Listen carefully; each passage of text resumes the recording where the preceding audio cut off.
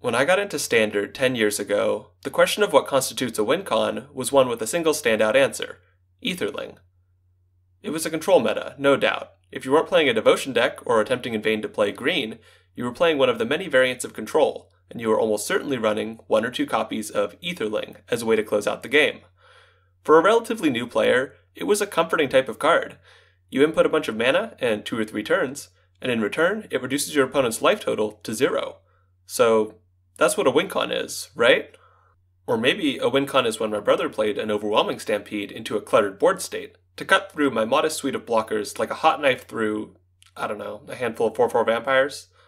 Or maybe it was a WinCon when I played Angelic Gift on a 4 4 land at the Battle for Zendikar pre release and smacked my opponent four times for the win.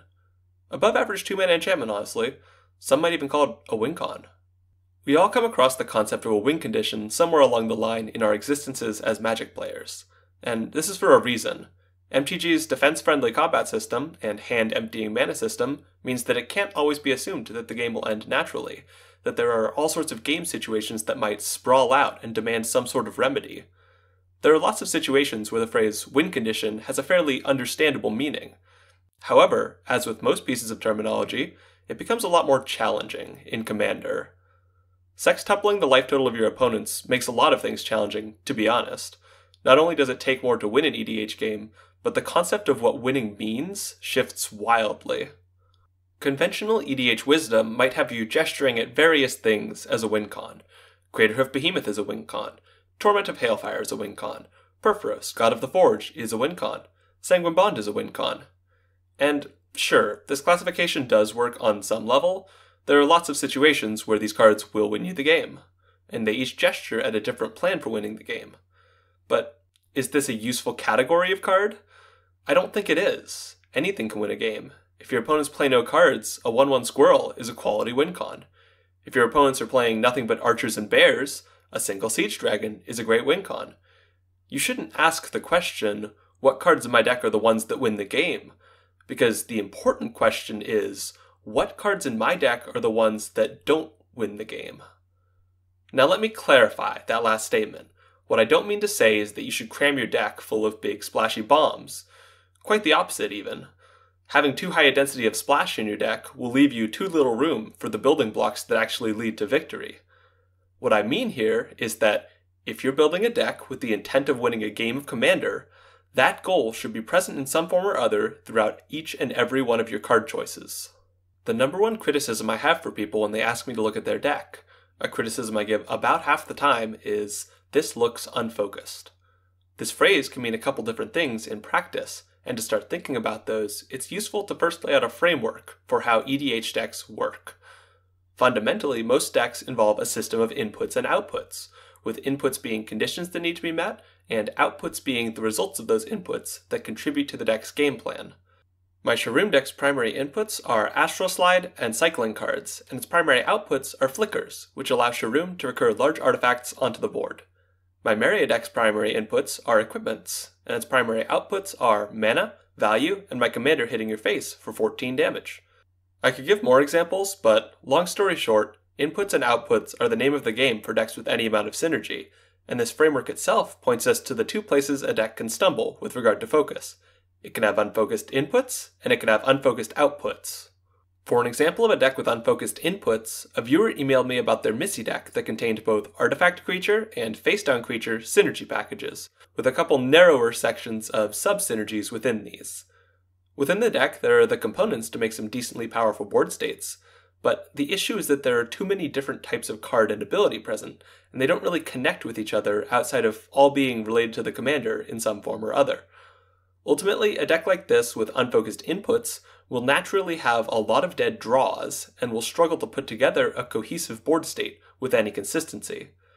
It's possible to build a deck that can pivot between a few different plans, but these decks are tricky to build and typically involve paying close attention to the points of connectivity between various types of card. Some examples of decks with unfocused outputs would be conventionally built variants of what I like to call value tribal commanders, and I'll use Gavi Nest Warden as an example since I've already talked about her before. Your average Gavi deck is pretty good at maintaining cycling based value loops, but when we look at the actual payoffs for cycling, aside from draw, It's a lot of small token creation, some larger token creation, some soft creature removal, some incremental damage, some creatures getting bigger, and so on. Theoretically, you're getting a lot of stuff when you add the input of cycling, but those outputs are so diverse that these decks don't end up actually doing any one thing in particular. It's just a flood of generic Magic the Gathering gameplay. This is probably better than a deck with unfocused inputs, since it's actually doing something pretty consistently, but it's a generally toothless type of deck that will struggle to win against decks that have more refined win plans, even if those decks generate a smaller quantity of total resources. Both unfocused inputs and unfocused outputs are problems that will lead to challenges in ending the game, but for different reasons. Despite this, the solution to the two problems is pretty similar. You should be asking what each card in your deck does, how often it will fail to perform its intended function, and whether it contributes toward a cohesive plan for your deck. A common first step in building commander decks is to lump together a bunch of cards that synergize around a particular one or two things. And while this will lead to a deck that does do something, if you're trying to win games, it might take a bit of tuning beyond that to make sure the deck can actually make it to the finish line. And for a bit, I want to zoom in on a particular type of deck that often falls just a little short in this regard. Alright, so this is a transition point in a longer video where it might make sense to put a mid-roll ad, but I don't like mid-roll ads, so I don't run them on my videos. That said, if you like what I do and have a spare 3 bucks a month to support me in making high effort videos like this one, there's a link to my Patreon down in the description. As I was going through the EDHREC page for Gavi while writing the previous section, there was one standout exception to the lack of good options for closing out the game, that being Moonshaker Cavalry. The card is a brutally efficient finisher, capable of converting a board full of tokens into a bunch of dead opponents in short order, and its presence here gestures at a specific type of card, mass buff cards, whose usage could lead to a Gavi deck with a more definite identity. This brings me to the subject of midrange, which I'll define here as decks that want to get a big board of creatures and then attack with them. Now, I'm sure when playtesting, we all like to imagine the ideal scenario for a beatdown deck. We play out a bunch of creatures and swing into the big empty boards of our quivering hypothetical opponents. And this might occasionally be the case, but in most games, your opponents will have creatures as well, even if their deck isn't a purely mid-range deck. So here, I'm going to introduce an important phrase, parity. Parity means a state of standstill, basically, and in the mid-range context, it's usually when multiple players have decent-sized boards, but can't swing in for large damage due to a lack of evasion or a risk of counterattack. In a game like this, with multiple mid-rangey decks, we can divide the game into two key steps for a given player, create parity and break parity. Creating parity just means getting your beefy mid-range board up and going, and not falling behind. This sounds simple, and indeed, it's not too hard in the abstract, but there are lots of places to go wrong.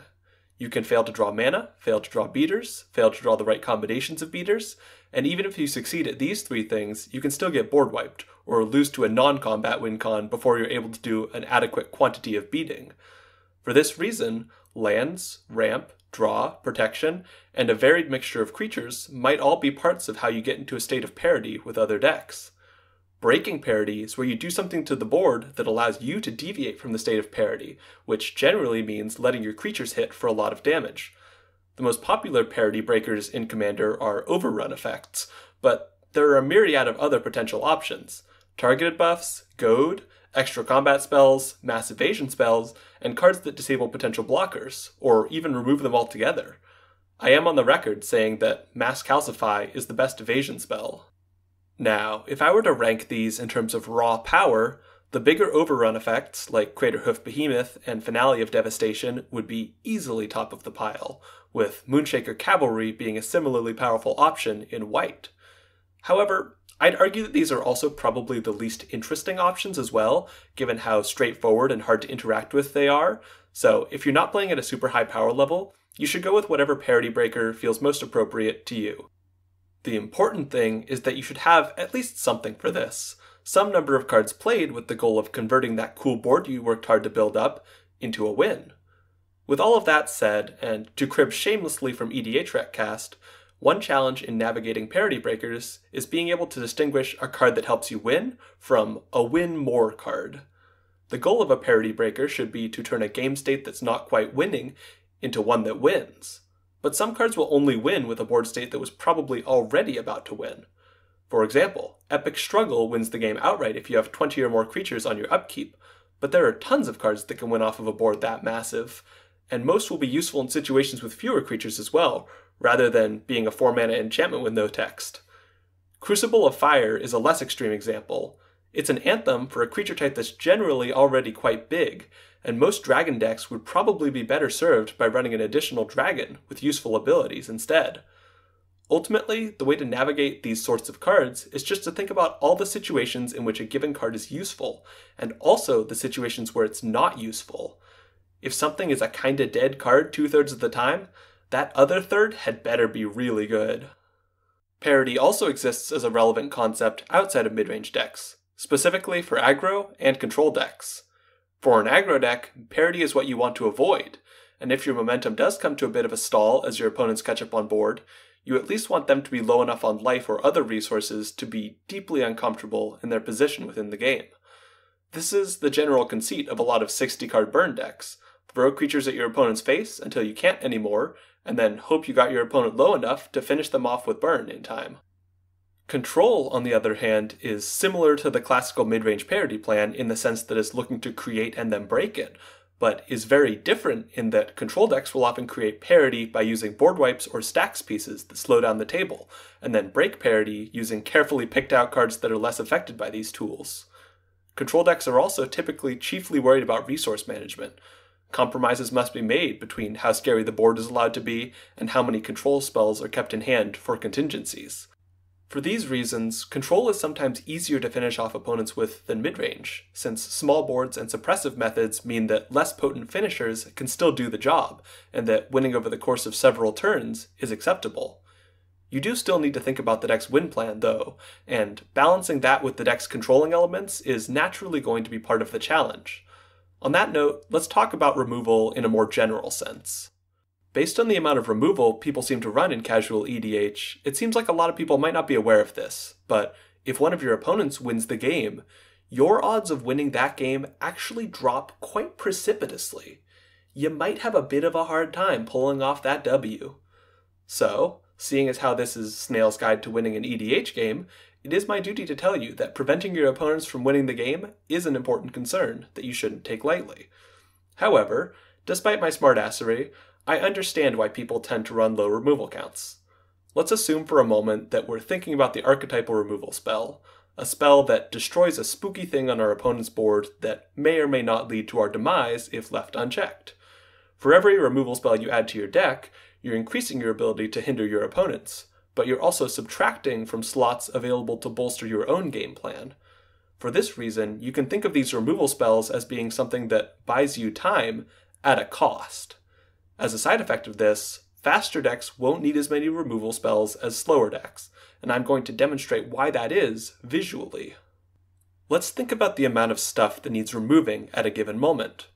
When I think of really spooky stuff that begins to happen in a game, it generally starts up small, where, say, 10% of the time there will be some potentially game ending nonsense on a given turn, but things will pick up for the next few turns until you're at the point where there's going to be spooky stuff left and right. The timing and what exactly comprises potentially game ending nonsense will vary with power level, but the basic concept stays fairly constant, and you can shift around this scale as needed. Let's say you're playing at a somewhat middling power level, where you're going to start seeing power plays trickling out around turn 5, with things getting really intense by turn 9 or so, assuming the game goes that long. If you're playing a faster deck, say one that's looking to start knocking down opponents around turn 6, there's a lot of stuff you simply won't need to deal with, because your opponents won't have time to fully develop it out before you're threatening lethal. By contrast, if you're playing a slower deck that's looking to develop a much more all encompassing threat a bit later in the game, there's a good chance you'll need to contend with some threatening plays from your opponents before you're able to pull off your win, since player removal is not an option. You'll still want some ways to slow down your opponents in a faster deck, but you won't need nearly as many. Another consideration is that interaction isn't always just about stopping your opponent's win plans. It can also remove obstacles to your win plan. With a given Flame Slash, you could be killing your opponent's Volo Guide to Monsters to prevent them from doing some dumb shit with it, but you could also be deleting somebody's Glissa so you can swing at them with your offensively large attacker, or getting rid of their Archon of Emeria so you can have your ridiculous pop off turn unimpeded. This sort of flexibility is also where counterspells really shine. You can always counter that Jin Gitaxias or Tergrid, but you can also counter a board wipe or a removal spell lobbed at your key creature. I personally really like counterspells and usually run at least 8 in my decks with blue, and I'll run more if the win plan is more fragile, such as one that is slow and board based, or a combo without backup options. Counterspells do have their downsides, though. There's the holding up mana problem, where if you hold up mana for a potential threat and the threat doesn't materialize, you've effectively wasted mana, as opposed to a removal spell where you can wait for a threat to materialize and then deal with it at your next convenience. Counterspells are still fantastic, and can deal with some higher powered threats that are untouchable by normal removal, but they require a bit more thought to fit into a game plan, and might not be right for all decks. Regardless, it's worthwhile to put in the thought, and to consider what types of interaction will best bolster your win plan, and whether it might be worth it to play a bit more in a given deck. I think it bears mentioning that everything I've said so far in this video is meant in the context of a game where decks are similarly matched in terms of power level, and where players are on the same page about what constitutes a fun game of Magic the Gathering. The most foolproof way to win a game of EDH is to obliterate a bunch of precons with a Godo CEDH deck, so I guess if that's what you clicked on this video for, there you go. But I'd say that sort of gameplay is not interesting for anybody. In addition, for any given card that might be considered a finisher, there will be plenty of players who aren't interested in using it, and others who would rather not play against it. And navigating that is a key step in having fun while playing a casual social format. While this video is about how to win an EDH game, my target audience here is less so decks that are already well rounded and looking to pump their power level, and more so decks that are doing some cool things, but are struggling to find their way to wins. There's a good chance that improving your deck's ability to win will make it feel more powerful overall, but my point here is simply that you should achieve that by playing to your deck's strengths and improving its internal cohesion, rather than just windmill slamming Craterhoof Behemoth or Torment of Hailfire into it and calling it a day. I also didn't really discuss combo in this video because I feel like combos are often conceptually more straightforward than other types of win options since though you can build a multivalent combo family that can navigate around five different types of stacks effect, on the most basic level, combo decks tend to be more of a yes or no proposition when it comes to winning, compared to a conventional aggro, midrange, or control deck. I also made a full video about combo a while back, and I'll briefly summarize a couple points from that video here.